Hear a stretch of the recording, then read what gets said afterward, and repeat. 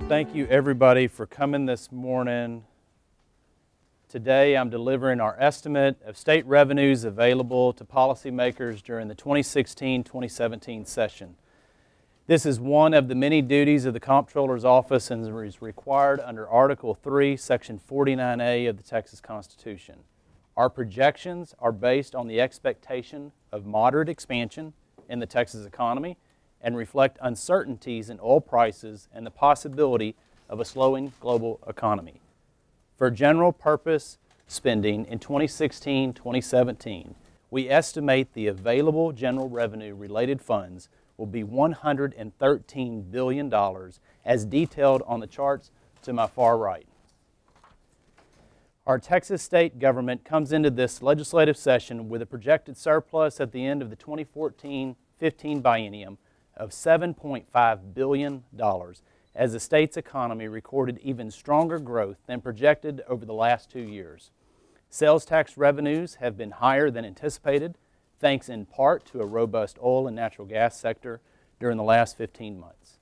Other revenue sources, such as motor vehicle sales taxes, have exceeded forecast as well. We estimate that general revenue related collections will be 110.4 billion dollars over the course of the 2016-17 biennium. Together with the surplus from 2014-15 biennium, that brings a projected total net revenue available to nearly 118 billion dollars. After 5 billion is set aside to be transferred to the rainy day fund as well as the state highway fund as approved during the previous section and by Texas voters last fall, there will be $113 billion available to the legislature for general purpose spending in the 2016-17 biennium. Texas has recovered well from the recession of 2008-2009, and we return to strong growth well ahead of the rest of the country. During the next two years, we believe the state economy will continue to expand, though at a much slower pace than we've seen in recent years. Job growth has been strong in Texas, outpacing job creation in other large states.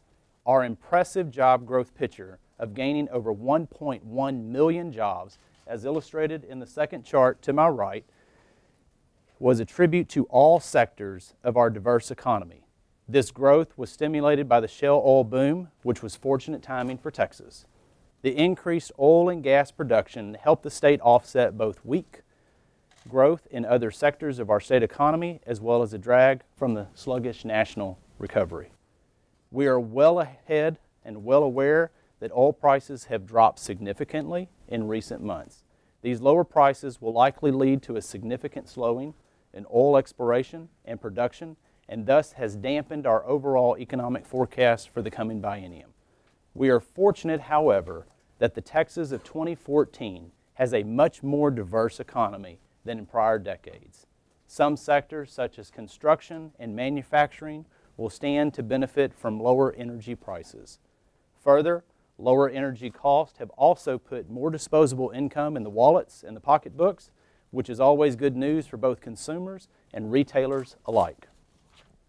This decline in oil prices and its implications for the Texas economy comes at a time when the national economy appears to be picking up steam as evidence by stronger job and economic growth numbers nationally. Strength in the broader economy, such as in construction and professional and business sector services, should help counterbalance a marked slowdown in the Texas energy sector. Overall, we project moderate growth in the state's economy and state revenues. That being said, we must recognize that volatility has significantly increased in recent years. So we will continue to monitor closely the economy and state revenues. And now I would call your attention to the chart to my immediate left, illustrating the volatility in sales taxes in recent years. From 1991 to 2001, sales tax revenues increased every year, ranging from a high of nearly 10% to just under 4% during the last decade of the last century. However, chart 3 to my left right here immediately, shows that the 21st century has brought greater volatility in the state sales tax revenue picture. In particularly, You can see that we had four occasions between 2002 and 2014 when sales tax revenues declined from one year to the next, with the steepest decline in 2010. That precipitous drop came on the heels of negative sales tax growth in 2009. During the other two-year period of negative sales tax growth occurred in 2002 and 2003 in the wake of 9-11. On the other, hand, other end extreme volatility spectrum, there has been three occasions when sales tax revenues grew by more than 10%. Texas saw dramatic increases in 2006, 2007, and in 2012. Now I want to call your attention to the chart to my far left over here, which shows that fluctuating oil prices have also been a fact of economic life in Texas here in the recent years. We can see volatility from this chart, which tracks average monthly oil prices between the years of 1991 and 2014. The chart can be viewed as two distinct periods. The monthly average price per barrel ranging from 11 to $34 during the entire decade of 1991 to 2001, a period of low prices, yet one of relative stability. Now compare that with the spikes and the dips of 2002 to 2014, when prices swung from an average monthly high of 134 to a low of $20. In conclusion, this volatility in sales tax collection and oil prices, as illustrated in charts 3 and charts 4 to my left, coupled with the fact that sales tax and oil related taxes are more than 60% of general revenue related collections, means that my office will keep a very close watch on the state's economy and its revenues in the coming months and over the upcoming biennium.